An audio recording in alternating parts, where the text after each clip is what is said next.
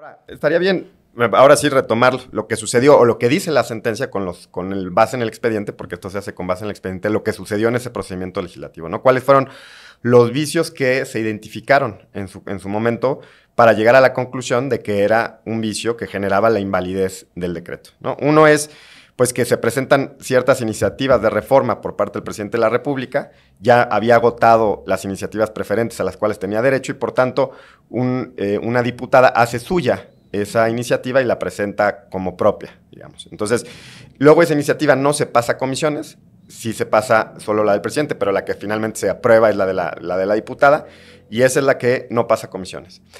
Todo esto bajo la justificación de, o la idea de, pretendida justificación de un trámite de urgencia, que es un trámite que suele estar previsto en los, en los reglamentos de procedimientos legislativos, no solo federales, sino también locales, en los cuales, bajo ciertos supuestos excepcionales, y esto es muy importante recalcarlo, uno puede omitir ciertos pasos del procedimiento legislativo. Pero eso tiene que haber una justificación por parte del órgano legislativo, precisamente para que no se tome como un pretexto para, digamos, avasallar a las minorías. Entonces, esa justificación no la hay, no hay unos hechos que justifiquen que se aplique un procedimiento de urgencia y por tanto ese es tal vez el punto medular de la razón de inconstitucionalidad del procedimiento. Luego también en la Cámara de Senadores hay, algunos ciertos vicios que se identificaron en la sentencia como que no hubo quórum en las comisiones y que luego fueron eh, sesionaron de manera separada cuando debieron haber sesionado de manera conjunta. Todo esto le lleva a la Suprema Corte en el caso concreto a considerar que hay vicios eh, al procedimiento legislativo suficientes, ¿no? ¿Por qué? porque la deliberación parlamentaria no se llevó a cabo y me faltaba uno que ya mencionaste, la falta de conocimiento por parte de las iniciativas por parte de la oposición. Entonces, todo esto es, pues no tuvimos tiempo de liberar, no tuvimos tiempo de discutir, de, escucharnos, de razonar, de, dar nuestros puntos de vista y además de conocer lo que se estaba debatiendo. Fíjate que en esto, qué, bueno que, qué bueno que ya entras al detalle de la sentencia, porque si te fijas, son cosas que cuando se quieren hacer bien, se pueden hacer bien. cuál es el marco de exigencia de la Suprema Corte? ¿Les, ¿Les está elevando muchísimo la exigencia? Pues no, no. Ninguna de estas cuestiones que acabas de mencionar eran eh, irremontables. Tan es así que cotidianamente los procedimientos legislativos siguen el curso normal. Siguen el curso normal. Y si bien es cierto, ha habido experiencias tú, mismo las, las, citabas. Yo recuerdo la ley de seguridad interior, por ejemplo, en, el, en la administración federal pasada, la tumbaron al 100 por temas de vicios de procedimiento legislativo. Ha habido otros, otros eh, digamos, eh, precedentes en el mismo sentido. Pero al final del día, lo que le está diciendo la Corte al Poder Legislativo es hagan las cosas bien, hagan las cosas conforme a un procedimiento que ustedes hacen todos los días. Es como decirle a una persona juzgadora, oiga, ponga los fundamentos en su sentencia, tome en cuenta las pruebas, haga una adecuada valoración. ¿Por qué? Porque usted lo hace todos los días, usted sabe hacerlo. No le estamos pidiendo que se convierta en un juez Hércules de Dworkin, no le estamos pidiendo que, que considere puntos que a nosotros nos parecen importantes y a usted no, que incorpore agenda ciudadana. No, no, no. Usted dé el contenido que usted quiera, siempre en respeto al marco constitucional, pero siga los pasos que están establecidos en la legislación, como lo sigue en el 99.9% de, de, cosas que hace el Poder Legislativo. Sí, y, sobre todo hacerlo bien también, creo, porque esas reglas, que es seguir el procedimiento, ¿no? previsto tanto en el 71 72, como decía su el reglamento, protegen ciertos valores. Es decir, no las no les damos importancia a esas reglas por el solo hecho de que ya lo dijimos y está en la Constitución. Es decir, lo subimos a la Constitución o al reglamento por el hecho de que eso nos da voz ¿no? a las minorías y a las mayorías, porque nos respeta la igualdad política, ¿no? el hecho de que tengamos la posibilidad de hablar, porque al final de cuentas quienes están ahí, bien o mal, pues son nuestros representantes, o sea, digamos, de la ciudadanía en general. ¿no? Entonces, los que están siendo silenciados o no, silenciados o no, pues es, es la ciudadanía que no tiene la posibilidad de expresarse. Eh, creo que es momento de hacer una primera pausa, Miguel, si te parece bien, continuamos después del corte. Claro. ¿Te gustaría dominar las técnicas de interpretación en argumentación constitucional? ¿Quieres conocer las claves de la argumentación jurídica? Centro Carbonell diseñó dos opciones para que continúes con tu preparación. Máster en argumentación jurídica con duración de un año y un diplomado en argumentación jurídica que podrás tomar a tu ritmo y a tu tiempo. Centro Carbonell se adapta a ti.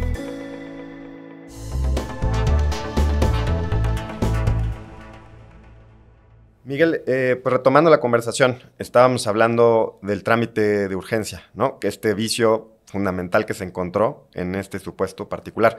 ¿Qué, qué, qué, puedes decir sobre eso? Mira, a mí me parece que, bueno que lo, que lo pusiste eh, a consideración en, esta plática, porque la idea de justificar eh, que se prescinda de ciertos trámites en virtud de la urgencia es bastante peregrina desde mi punto de vista. ¿Por qué? Porque salvo que tengas un transitorio de reforma constitucional que te obligue a legislar en un determinado tiempo, el resto de decisiones en el proceso legislativo se van tomando periodo a periodo de manera consecutiva y la urgencia está en la cabeza de quienes votan o tienen que obedecer cierto mandato político, etcétera, pero no hay una urgencia en el mundo real algo que sea tangible. Eh, si no se aprueba este periodo, pues se aprobará el próximo periodo. La democracia es, una, es uno de esos procedimientos que llaman juegos infinitos. La democracia no termina. Eh, alguien piensa que al terminar un sexenio terminará la historia, se inaugurará un periodo. No, es cierto, no es cierto. Eh, claro que hay diferentes orientaciones, claro que hay gobiernos con diferentes tendencias, claro que hay prioridades en un gobierno que no estaban en el gobierno anterior, desde luego, pero eso no implica que eh, las reglas del juego democrático tengan que ser puestas entre paréntesis o entre comillas en virtud de que alguien tiene una urgencia. Es que, es que a mí me urge que salga la reforma electoral. ¿Por? Si no sale este periodo y sale el siguiente, ¿qué pasa? Y si nos vamos a un proceso electoral con las reglas que ya tenemos, como hemos ido a otros procesos electorales con las mismas reglas y sabemos que funcionan, ¿cuál es el problema? ¿No? Entonces, creo que la justificación era muy, muy débil. Y yo también me gustaría, eh, digamos, reflexionar con el auditorio sobre por qué las decisiones democráticas en, países como México, con separación de poderes, digamos, con órganos que tienen funciones atribuidas distintas y que se controlan de manera recíproca, se hacen más lento. ¿Cuál era la lógica detrás de esto, no? Eh, y, esto, digamos, el sistema bicameral, ¿no? Exactamente, el bicameral y el control judicial y el veto, etcétera eh, todos estos mecanismos de control recíproco hacen evidentemente más lenta la toma de decisiones, ¿no? Pero se pensó con una lógica, digamos, desde el, desde el constitucionalismo norteamericano se pensó para que las decisiones pausadas tuvieran mayor reflexión. Es decir, cuando tomamos una decisión en inmediato, sin pensar, en caliente, digamos, muchas veces nos podemos equivocar.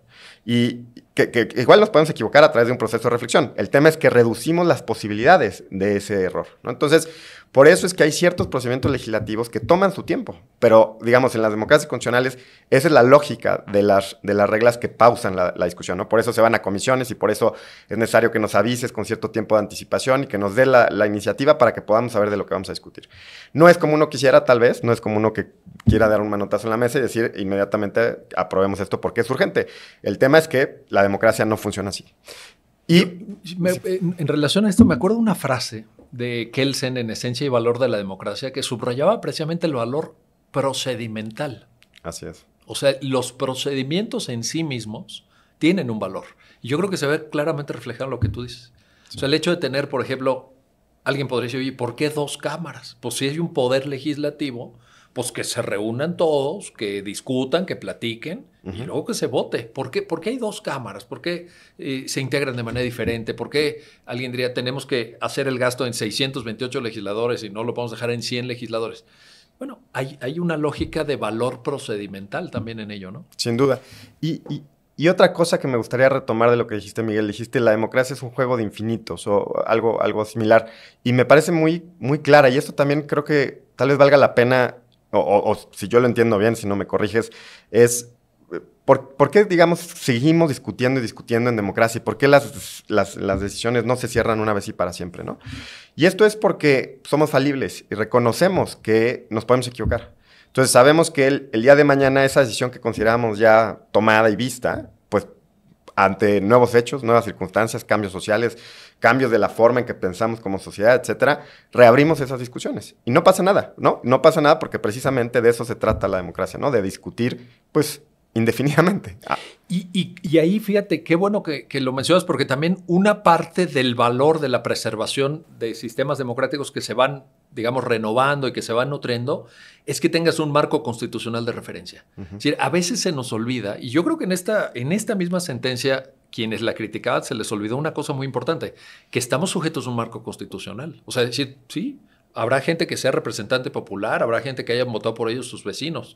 Eso no exime de cumplir esa gran regla del juego que llamamos la Constitución, que también tiene un valor, eh, digamos, de estabilización, un valor de permanencia de reglas del juego, etcétera, que es muy importante. Ahí viene el tema de la rigidez constitucional, ahí viene el tema del proceso de reforma diferenciado del proceso eh, legislativo propiamente dicho, etcétera. Y esto también hay que decirlo. A ver, hay poderes constituidos y hay un poder constituyente que diseña las reglas del juego para todos y hacia adelante. Entonces también esto me parece importante. Sí, y enfatizar, ¿no? La violación más allá del reglamento estaba también en el 71 y 72 constitucional, digamos, desde ahí viene la violación al, procedimiento legislativo.